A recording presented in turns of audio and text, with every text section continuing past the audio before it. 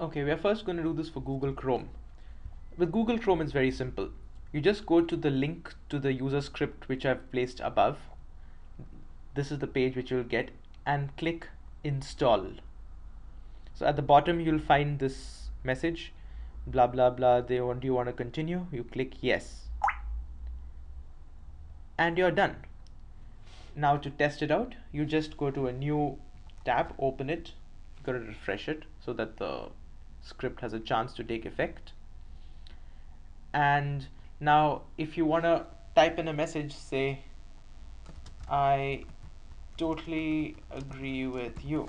Now if you want to italicize the word totally you just select it control I and voila.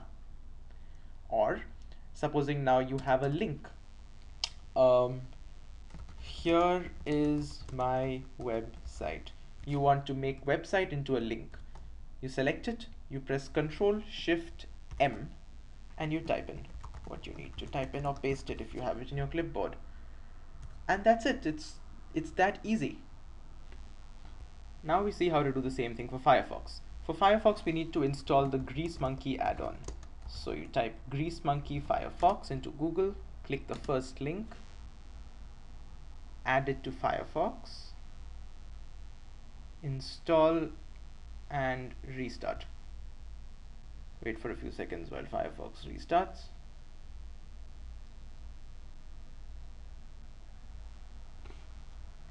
Now you just go to the same page that we went to for Google Chrome, install the script.